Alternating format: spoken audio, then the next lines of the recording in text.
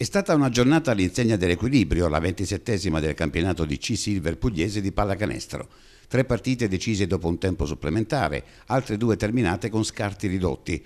La capolista Udas Cerignola si impone a Monopoli allo scadere dei 40 minuti degli ulteriori 5 e così per gli Offantini è arrivata l'ennesima vittoria, la ventiduesima di fila, il filotto migliore persino di quello conseguito in occasione dell'ultima promozione in B, che le permette di mantenere i sei punti di distacco dal Nardò, seconda in classifica, che a Martina ha battuto 76 a 52 la Valle d'Itria.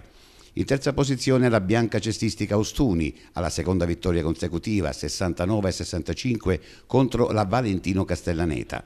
Si accende anche la lotta per il quinto posto, con Monopoli raggiunto da Basket Francavilla e Tamma e Angel Manfredonia. I primi straripano per 113 a 72, mentre i Sipontini di Ciociola piegano la Bisanum Sunshine Vieste solo nell'appendice di gara per 82 a 79 e Bagar anche a 22 punti, dove ci sono quattro squadre. Oltre al Vieste, la Eco Downy Olimpica Cerignola, Mola New Basket e Diamond Foggia.